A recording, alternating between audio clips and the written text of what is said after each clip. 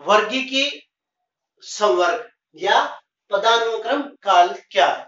वर्गीकी संवर्ग का मतलब है संवर्ग, अलग अलग भागों में व्यवस्थित करना, और ये क्या है? वर्गीकरण कहलाता है। ठीक है, बांटना, वर्गी की वर्गी की अभी जो अपन ने बात की थी वर्गीकी का मतलब क्या है? वर्गीकरण करना, और वर्गीकरण क्या है? समानताओं एवं असमानताओं के आधार पर सजीवों को अलग अलग समूह में व्यवस्थित करना क्या कहलाता है? वर्गीकरण कहलाता है। ठीक है? अब वर्गीकरण की अगर अपन देखें तो सबसे छोटी इकाई क्या है वर्गीकरण की? सबसे छोटी इकाई होती है जाति। जाति शब्द सबसे पहले जोन रे नामक वैज्ञानिक ने दिया था, और जाति क्या है? जाति किसे कहते हैं? आपस में अंत प्रजनन कर सकने वाले समूह को। क्या?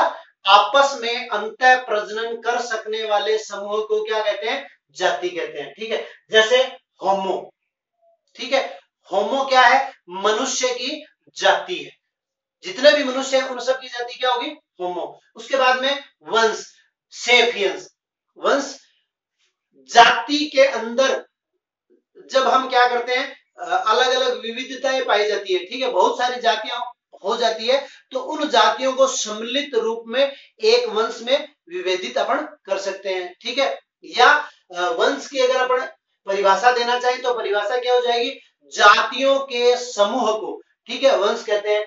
वंश सेफियंस अभी जैसे देखे अपन मनुष्य जिस वंश में आता है उसी वंश में कौन आता है? चिंपाजी आता है। उसी वंश में कौन आता है? एप्स या चिंपाजी आता है। और उसी वंश में कौन आता है?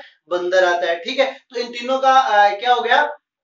वंश जो है वो समान हो गया। तो जातियों के समूह को क्या कहेंगे? वंश। इसी प्रकार ये जो क्रम लिखा है ये क्या है? जगत, वर्ग, गण, कुल, वंश, जाति। ये वर्गी की संवर्ग का आरोही क्रम है, अगर इसको अपन उल्टा कर दे, यानी जाति को सबसे ऊपर ले जाए, जाति, उसके बाद में वंश, उसके बाद में कुल, उसके बाद में गण, उसके बाद में वर्ग तो वो क्या हो जाएगा? अवरोही क्रम हो जाएगा। तो यहाँ इस क्रम में अपने को क्या करना है? केवल क्रम ध्यान में रखना है। जगत, वर्ग, गण, कुल, वंश, जाति। केवल क्रम ध्यान में रखना है और एक जाति की परिभाषा ध्यान में रखनी है। तो जाति की परिभाषा क्या है? आपस में अंत प्रजनन कर सकने वाले समूह को जाति कहते हैं। अब अगर हमें क्रम याद है तो प्रत्येक पद की परिभाषा जो है अपने आप आ जाएगी। और इसी के साथ, जैसे हम कह रहे हैं पद तो इसके लिए एक साइंटिफिक शब्द का इस्तेमाल किया गया है टेक्सा प्रत्येक पद को वर्गीकरण के, प्रत्येक पद को क्या कहते हैं? टेक्सा कहते हैं। और वर्गीकरण का अध्ययन जो है क्या कहलाता है? टेक्सोनोमी कहलाता है। अभी देखिए, वंश की परिभाषा, जातियों के समूह को वंश कहते हैं, वंश के समूह को कुल कहते हैं, कुल के समूह को गण कहते हैं, गण के समूह को वर्ग कहते हैं, वर्ग के समूह को जगत कहते हैं। तो ये एक प्रकार से अपनी परिभाषा हो जाती है। सबसे पहला, जाति की परिभाषा ध्यान में रखना है। फिर प्रत्येक के समूह को अपन क्या कहते जाएँगे? वंश, कुल, गण, वर्ग, जगत। अभी जैसे अगर अपन बात करें मनुष्य की तो मनुष्य जो है वो सुपर जगत किसमें आता है? जंतु में। उसके बाद में जगत क्या हो गया? कोरडेटा कोरडेटा का मतलब क्या है? आप लोगों को ध्यान में होगा कोरडेटा का मतलब वे जंतु जिनमें रीढ़ की हड्डी पाई जाती है।